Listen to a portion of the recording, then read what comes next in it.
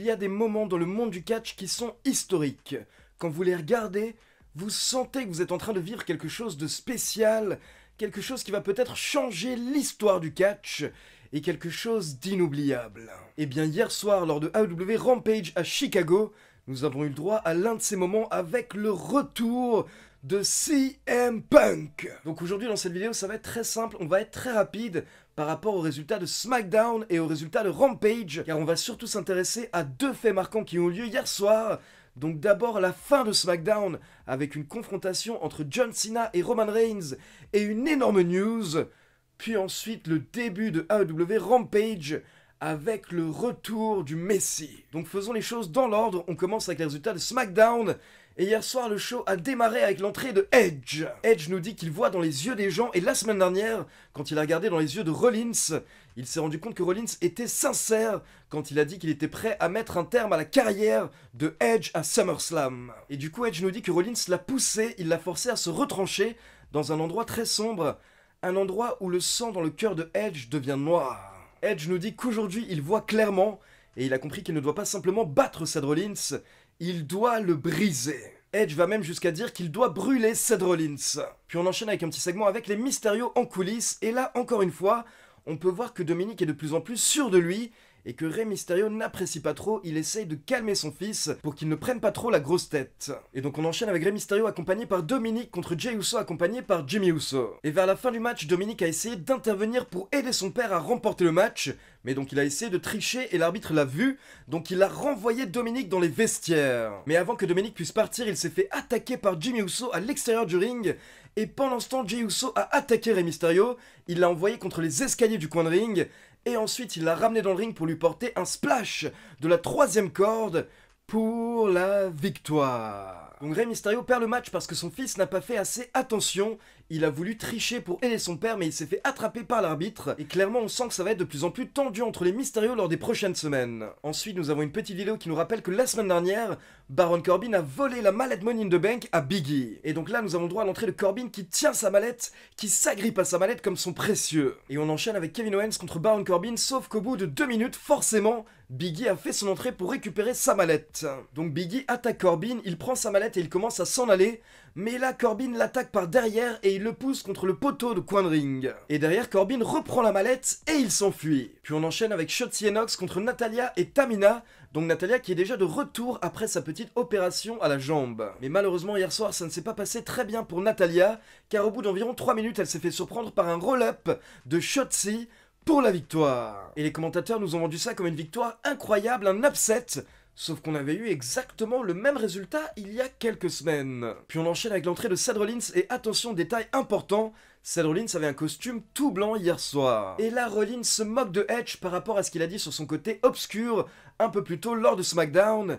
Et Rollins dit que tous les côtés obscurs de Edge sont morts et il ne pourra jamais les retrouver. Mais là, attention, d'un coup, nous avons la musique de The Brood, le clan de Edge à la fin des années 90, avec Christian et Gangrel qui démarrent. Et donc pendant quelques minutes, on a eu droit à un retour de ce Edge version Attitude Era, ce Edge de la période Ministry of Darkness. Et donc il y avait des flammes autour de lui, l'arène est devenue très sombre. Et donc Edge nous dit de faire attention car les monstres, les freaks, sortent la nuit. Et il dit à Seth Rollins qu'il ne le verra jamais venir. Et là, d'un coup, nous avons un liquide qui tombe du ring directement sur Seth Rollins.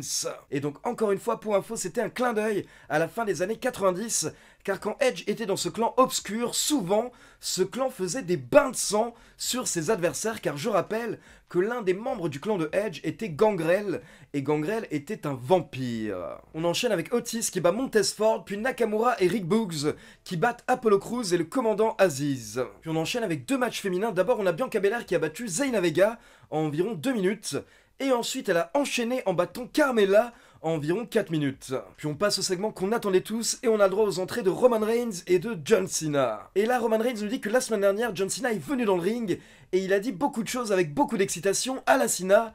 Mais au final, la plupart des choses qu'il a dit ne valaient rien. John Cena a dit qu'il fallait simplement 3 secondes pour battre le chef tribal.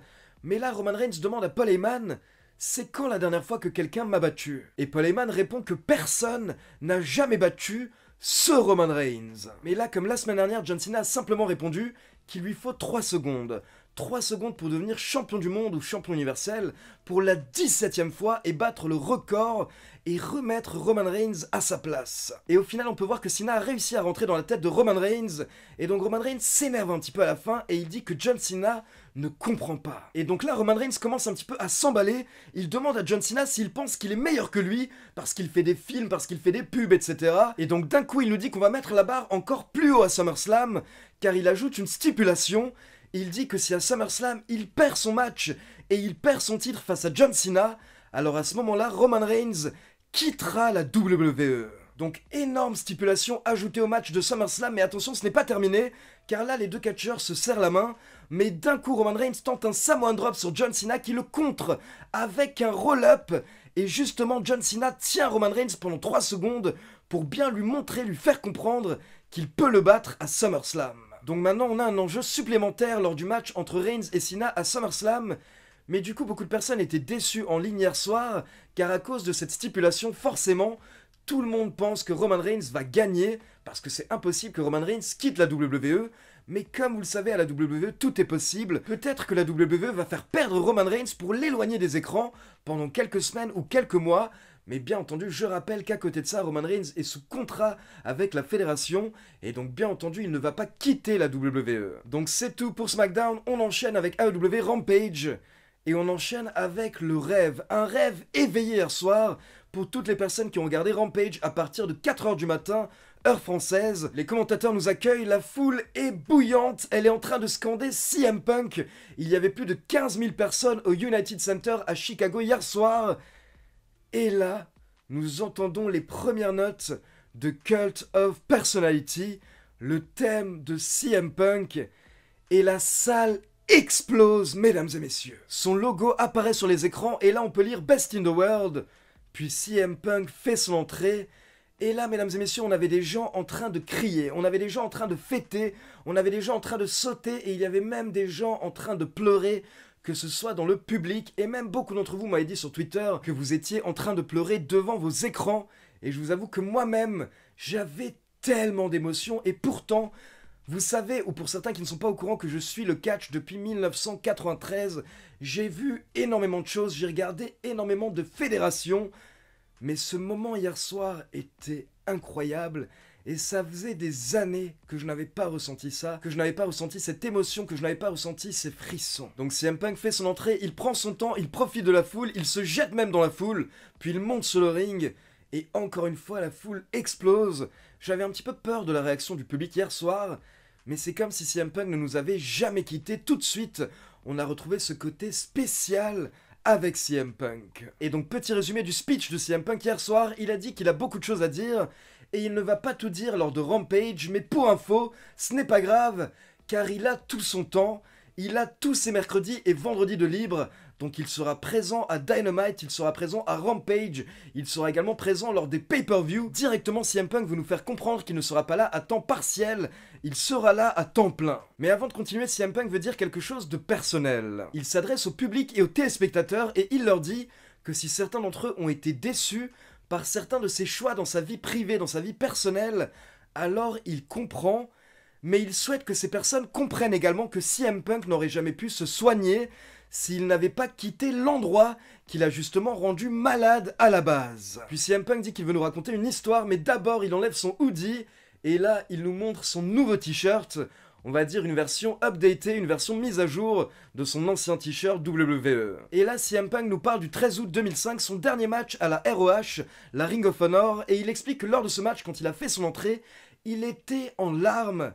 Et il était en larmes parce qu'il savait qu'après ce match, il allait quitter le monde du catch pour rejoindre un autre univers où les choses allaient être plus difficiles pour lui. Donc CM Punk nous dit que le 13 août 2005, il considère que c'était la date où il a quitté le monde du catch, mais le 20 août 2021 est la date où il effectue son retour. CM Punk nous dit qu'il est de retour parce qu'il y a beaucoup de jeunes talents qu'il souhaite affronter, des talents qu'il aurait aimé avoir dans son vestiaire il y a 10 ans.